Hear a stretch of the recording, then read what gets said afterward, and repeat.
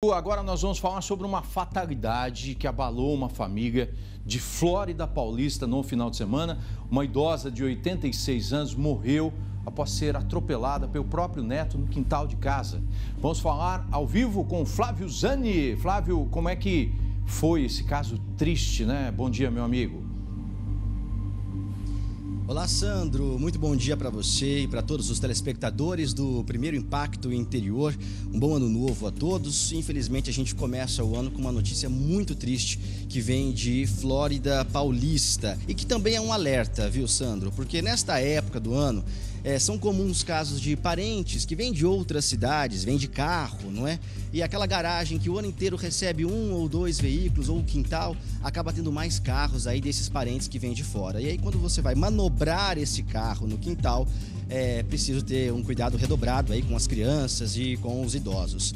Isso que eu falei é a síntese dessa fatalidade que aconteceu em Flórida Paulista, porque um homem de 32 anos estava manobrando o carro dele quando ele não percebeu que também no quintal estava a avó de 86 anos que estava varrendo esse quintal. Então, um não percebeu ali a presença do outro e a fatalidade aconteceu. O neto acabou atropelando a avó.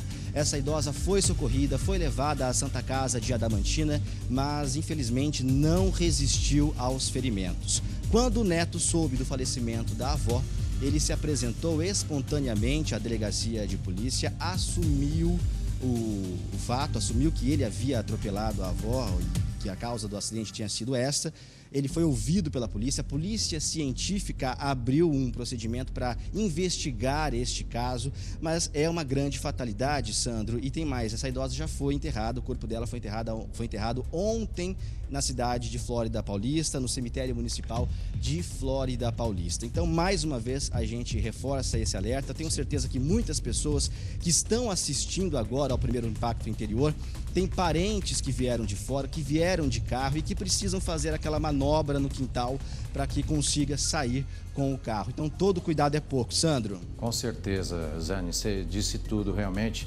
Os nossos sentimentos aos familiares, imagino como é que deve estar esse neto, né? Com peso, né? Que vai carregar. Meu Deus do céu, que triste, realmente. Muito obrigado, Flávio. Bom trabalho. Qualquer informação nova ele traz aqui pra gente, viu?